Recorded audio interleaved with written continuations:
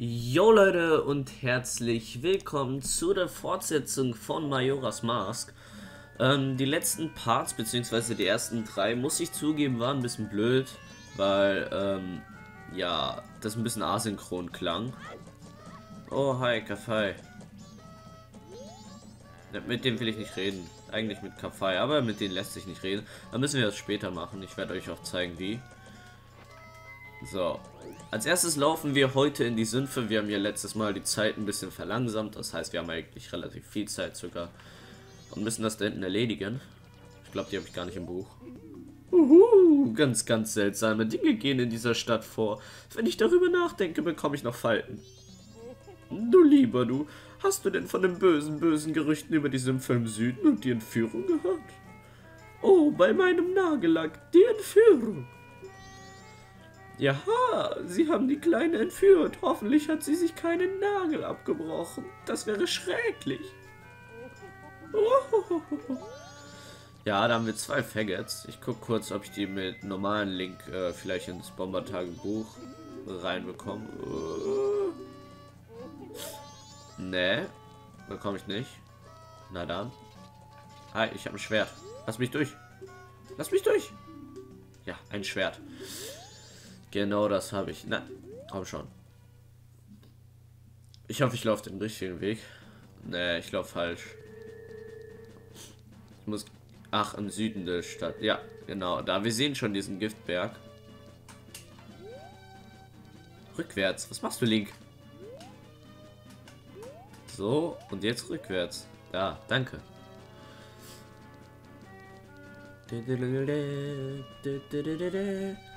Mir ist noch nie dieses Loch da in der Wand aufgefallen. Hm.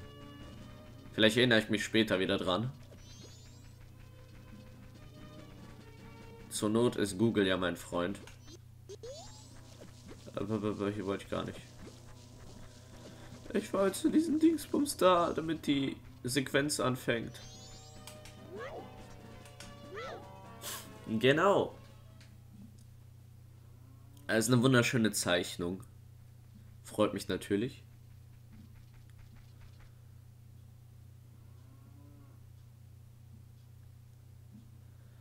Oh, ich kenne diese Zeichnung. Taylor und ich haben das zusammen mit dem Horror-Kit gezeichnet, kurz nachdem wir uns getroffen haben. Es sagte uns, es hätte mit seinen Freunden gestritten. Danach haben sie es einfach im Stich gelassen eigentlich eine recht traurige Geschichte, wenn man jetzt mal so das Horror-Kit an sich wieder bedenkt, dass es total fies ist und so. Vielleicht liegt es einfach daran, dass es selbst in der Vergangenheit Schlimmes erlebt hat und sich jetzt einfach rächen will. Wer weiß, wer weiß.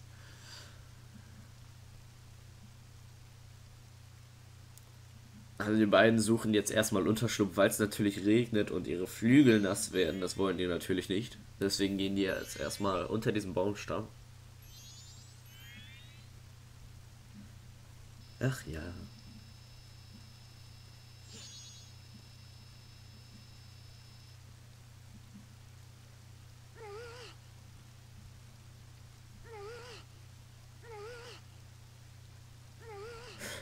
Dieser Schnabel von denen ist so geil.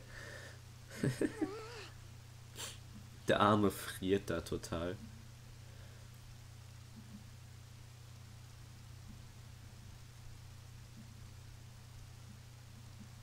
Oh, sehr lieb. oh, mein Hals tut weh. ich bin gerade erst aufgestanden, weil ich heute schulfrei habe. Deswegen ist das jetzt ein bisschen so.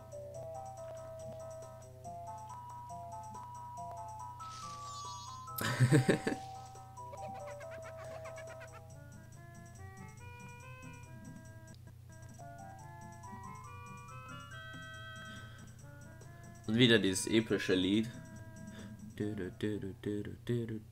Oh, jetzt ist es einfach weg. Genau, wenn ich singen will. Die machen das doch mit Absicht.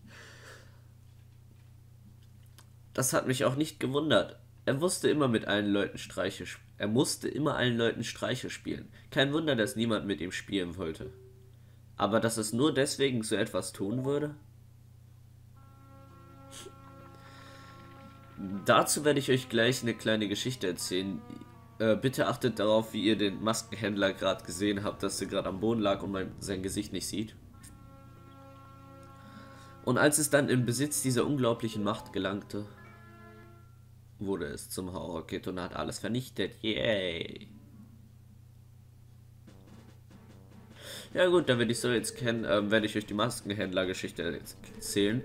Ähm, ab hier spekuliert man eigentlich, dass der Maskenhändler, den wir bis jetzt immer treffen, tot ist und gar nicht mehr unter uns weilt. Ähm, äh, ganz einfach aus dem Grund, dass er da auf dem Boden liegt, man sein Gesicht nicht sieht und man einfach davon ausgehen kann, dass er tot ist und äh, auch sein Verhalten und so ist er das Verhalten eines äh, Toten, sage ich mal. Falls man das überhaupt so sagen kann. Oh Gott. ich treffe das gar nichts. Ähm, ihr habt ja sein Gesicht und alles gesehen, das hat sich immer relativ schnell geändert. Äh, Gott, ich, ich wechsle ganz kurz zum Deko. Macht das ein bisschen einfacher. Ähm, sein Gesichtsausdruck hat sich geändert und man nimmt einfach an, dass der wahrscheinlich nur noch deswegen lebt, weil ähm, der hat seine Maske zurückkommen will. Ihr kennt das ja, wenn man tot ist, äh, dass man noch seinen letzten Wunsch erfüllen möchte. So, wir gehen da gleich auch mal als Deko hoch. Da war klar, dass sie mich angreifen. Das Gute ist, wir haben hier immer dieses Viech, das sich regeneriert und... Mann, lass mich doch mal in Ruhe. Ich möchte nur hochklettern. Ich habe keinen Bock, die jetzt alle abzuschießen.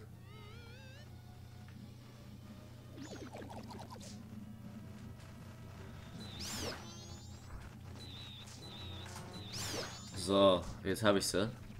Das heißt, ich kann erstmal hoch. Ganz gemütlich. Oh, wir kriegen jetzt sogar, glaube ich, einen neuen Herzcontainer. Du hast ein Herzteil gefunden. Ne, ich, ich habe noch keinen. Was? Wie viel habe ich denn? So, tschö. Ich wollte gerade sagen, hier sind irgendwo doch noch Rubine. Die holen wir uns.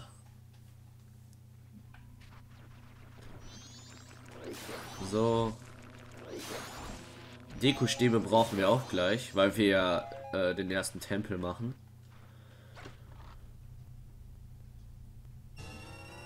Ein roter Rubin, die sind 20 nur wert. Ich brauche, glaube ich, 60. Ja, doch. 40, 40 brauche ich und dann noch, ja, 20. Sollten 60 sein. Wenn die Mathematik mich gerade nicht betrügt.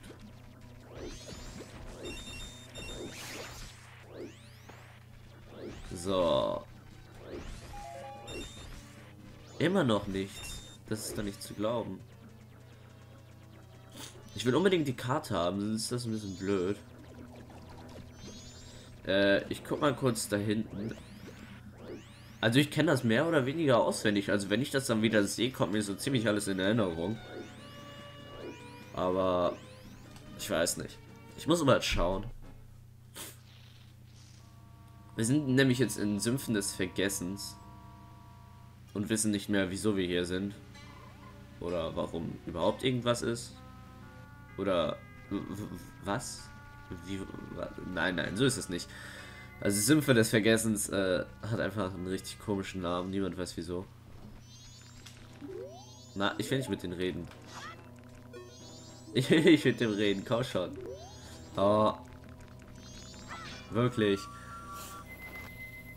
glaube, wir haben die äh, Statue bei der Romanji Range gar nicht aktiviert.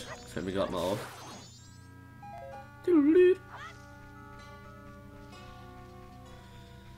So, nur 30. Ach Mist, wir brauchen so viele noch. Dann machen wir das noch schnell mit dem hier. Sammeln ein paar Edelsteine. Ah, sieben Stück. Ich, ich wette, wenn ich jetzt zurückhole, kriege ich genau sechs Stück und einer fehlt mir. Das ist Standard. Kennt man nicht anders. Ach Mist, jetzt muss ich das nur schnell hinbekommen. Ich hoffe, ich fail jetzt nichts, weil ich verliere hier relativ viel Zeit gerade. Das wollen wir ja nicht im Majoras Maß meistens. Komm schon, noch zwei. Ja, perfekt. Jetzt habe ich wenigstens die 40, die ich haben wollte. Die 20 kann ich mir gleich gönnen. So.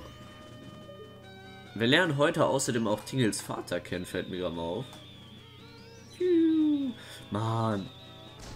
Wollte gerade sagen. Komm, Tingle. Tingle Tanglebob. Äh, so. Ja, ich, ich kenne dich schon. Du, du, sagst immer das Gleiche. ich habe schon, glaube ich, dreimal oder so mit dir gesprochen. Pichibernia brauchen wir. Genau. Dämmerwald bräuchten wir jetzt eigentlich auch noch. Ähm. Ne. Das heißt, wir gehen erstmal äh, in das Haus rein und holen uns was. Beziehungsweise müssen was holen. So. Die, die Edelsteine hier vergessen, die brauchen wir. Äh, brauchen ja 20 Stück insgesamt noch. Da vorne ist ein Händler, zu denen wollen wir momentan noch nicht. Äh, das Herzteil oben äh, braucht uns auch erstmal gar nicht interessieren. Verflucht, wo ist er bloß? Dieser verwöhnte Balk schwänzt schon wieder die Schule. Ein Kind seines Alters hat gefälligst nicht nach Feen zu suchen. Oh, äh, willkommen. Oh, zum Fotowettbewerb sind leider nur Menschen zugelassen. Tut mir leid. Diese Rassisten, überall nur Menschen. Zeig mir doch mal das Bild, das du geschossen hast. Ich habe kein Bild. Ich, ich habe kein Bild. Huch, nimmst du zum ersten Mal teil? Das Sumpf-Info-Center veranstaltet gerade einen Fotowettbewerb. Leute aller Altersgruppen dürfen daran teilnehmen. Für hübsche Bilder, die im Sumpf gemacht wurden, erhältst du eine kostenlose Bootsfahrt als Sonderpreis. Hast du Interesse? Vorher musst du aber an einer Bootsfahrt teilnehmen. Fahrkarten erhältst du am Schalter gegenüber. Probier es aus. Äh, derzeit geschlossen. Ja, hm, das ist nicht so gut.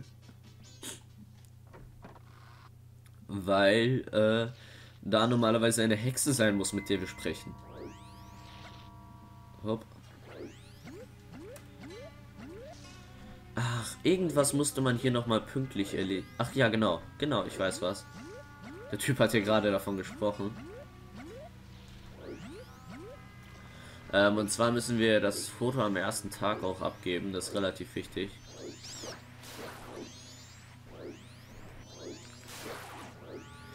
Ähm, ja, da vorne sind wir schon. Können gleich mal vorbeigucken. Wir sollen ja in den Hexenshop.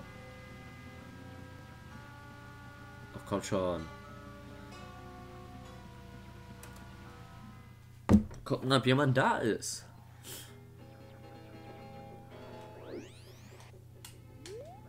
Ja, ich möchte mit dir reden.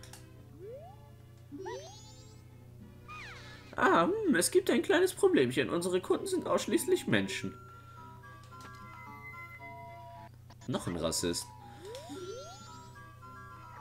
Tee, willkommen. Meine Tränke wirken gut.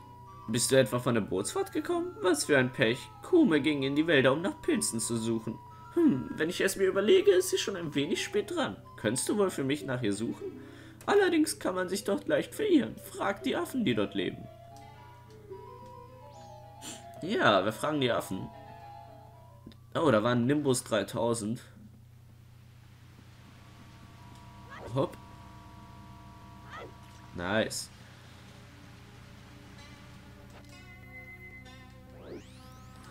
So. Wir sind jetzt in den Wälder der Mysterien. Hm, du mir folgen. Das Dumme ist immer, die Affen laufen ein bisschen verrückt. Ja, ich, ich glaube, ihr seht jetzt, was ich meine. Die laufen erst links und dann rechts und dann doch nicht. Nein! War klar. Ich werde so ziemlich immer von den Viechern getroffen. Die sind so schlimm. Ich glaube gerade schon wieder. Oh, diesmal nicht? Nice. Ich habe es geschafft. Ach, ab hier glaube ich noch zweimal links. Ne, wir sind schon da. Nice. Aua, hilf mir. Ja, ich, ich würde dir gerne helfen, aber äh, ihr seid ja so rassistisch.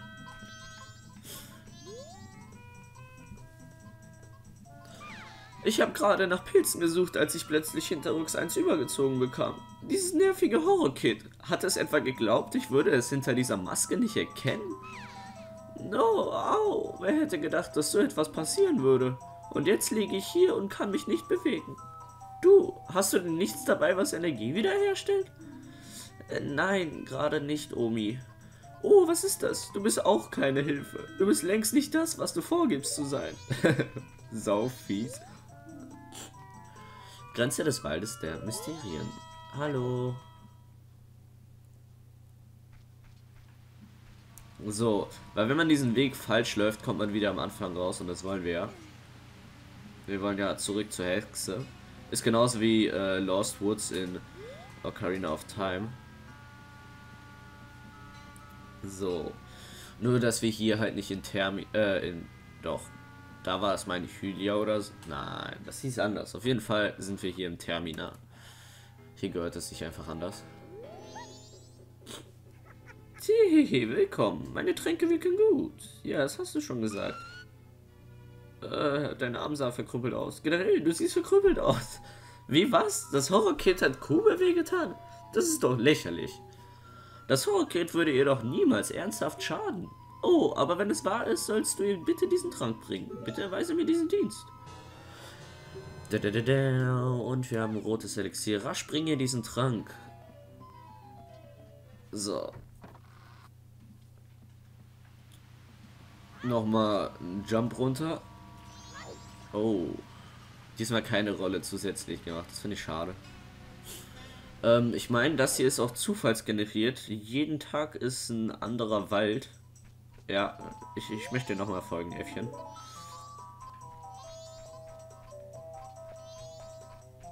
Äh, ja. Jetzt ging es rechts lang. Das ist eigentlich eine ziemlich gute Idee, zu fokussen, aber ich kann auch ohne.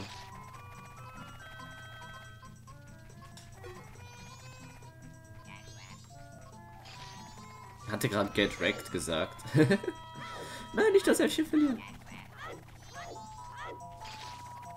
Ich möchte nie diese Pflanzen aufheben und mache es trotzdem so oft. Bei einer Rolle. Aber wir haben sie gefunden. Oh. Mir ist, glaube ich... Ich weiß nicht. Das ist gerade so ein komisches Gefühl, als hätte ich den Trank einmal selber für mich eingesetzt, anstatt für die. Ja, bitteschön. Ah, die Farbe, der Duft, das ist eindeutig Kotakis. Ja, nimm mir das einfach weg.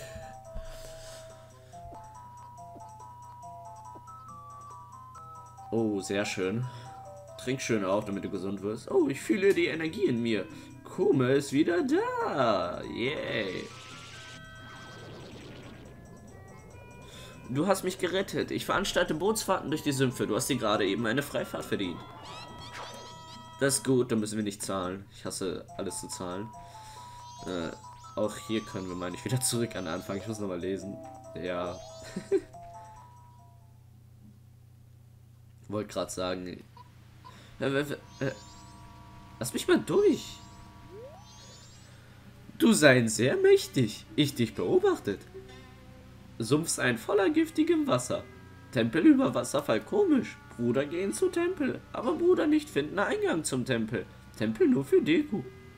Bruder von Deku gefangen. Jetzt seinen Palast. Hilfe.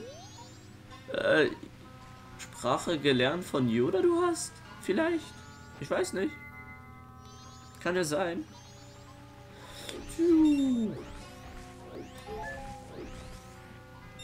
Ja, okay. Ein bisschen Geld brauchen wir noch. Ich hoffe nur immer, ich schaffe das pünktlich, weil Ihr kennt mich mit der Zeit. Ich, ich verballer ein bisschen mal was. Sehr gerne sogar.